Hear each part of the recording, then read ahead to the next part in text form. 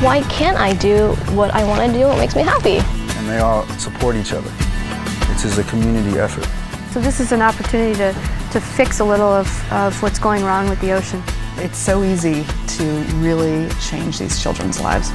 All of these images will be in my mind forever.